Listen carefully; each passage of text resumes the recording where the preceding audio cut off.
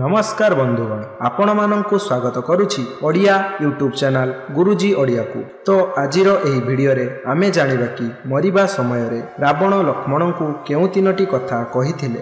ଆସନ୍ତୁ ଜାଣିବା ସେହି ତିନୋଟି ଗୁପ୍ତ କଥା କ'ଣ ଅଟେ।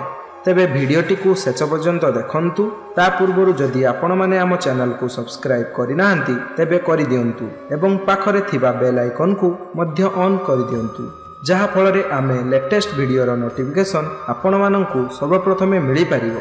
ଯେତେବେଳେ ରାବଣ ମରିବା ଅବସ୍ଥାରେ ଥିଲେ ସେହି ସମୟରେ ଭଗବାନ ଶ୍ରୀରାମ ଲକ୍ଷ୍ମଣଙ୍କୁ କହିଲେ ଏହି ସଂସାରରୁ ନୀତି ରାଜନୀତି ଏବଂ ଶକ୍ତିର ମହାନ ପଣ୍ଡିତ ବିଦାୟ ନେବାକୁ ଯାଉଛି। ତୁମେ ତା ପାଖକୁ ଯାଅ ଏବଂ ଜୀବନରେ ତାଠାରୁ କିଛି ଏମିତି ଶିକ୍ଷା ନିଅ ଯାହା ତୁମକୁ ଆଉ କେହି ଦେଇପାରିବେ ନାହିଁ।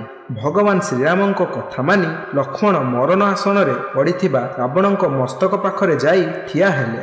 ରାବଣ ସେତେବେଳେ କିଛି କହିଲେ ନାହିଁ। ତେବେ ଲକ୍ଷ୍ମଣ ସେଠାରୁ ଆସି ରାମଙ୍କ ପାଖରେ ଆସି ପହଞ୍ଚିଲେ। ସେତେବେଳେ ରାମ କହିଲେ ଯଦି ଯାହାଠାରୁ ଜ୍ଞାନ ପ୍ରାପ୍ତି କରାଯାଏ ତାହା ଚରଣ ପାଖରେ ଠିଆ ହେବା ଉଚିତ ନା କି ତା ମସ୍ତକ ପାଖରେ? ଏହି କଥା ଶୁଣି ଲକ୍ଷ୍ମଣ ରାବଣର ପାଦଦେଶରେ ଯାଇ ଠିଆ ହେଲେ।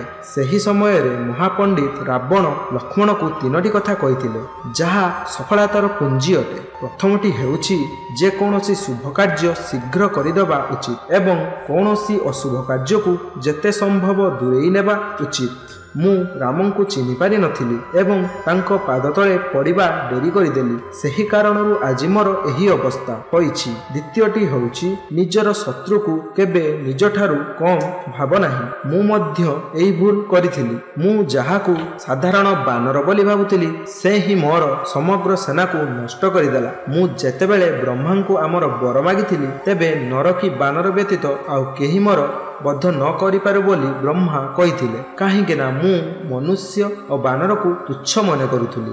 ଏହା ହିଁ ମୋର ଭୁଲ ଥିଲା। ଫ୍ରେଣ୍ଡସ୍ ଏହା ଥିଲା ସେହି ତିନୋଟି ହିତ ଉପଦେଶ ଯାହା ରାବଣ ମରିବା ସମୟରେ ଲକ୍ଷ୍ମଣଙ୍କୁ କହିଥିଲେ। ତ ଫ୍ରେଣ୍ଡସ୍ ଭିଡ଼ିଓଟି ଆପଣମାନଙ୍କୁ କିପରି ଲାଗିଲା ଗୋଟେ ଛୋଟିଆ କମେଣ୍ଟ ମାଧ୍ୟମରେ ଜଣାନ୍ତୁ। ଆଉ ଯଦି ଭିଡ଼ିଓଟି ଭଲ ଲାଗିଛି ଭିଡ଼ିଓଟିକୁ ଲାଇକ୍ ଏବଂ ସେୟାର କରନ୍ତୁ। ଆଉ ହଁ ଆମ ସହ ଯୋଡ଼ି ରହିବା ପାଇଁ ଆମ ଚ୍ୟାନେଲକୁ ସବସ୍କ୍ରାଇବ୍ ମଧ୍ୟ କରିଦିଅନ୍ତୁ ରହୁଛି ନମସ୍କାର ଜୟ ଜଗନ୍ନାଥ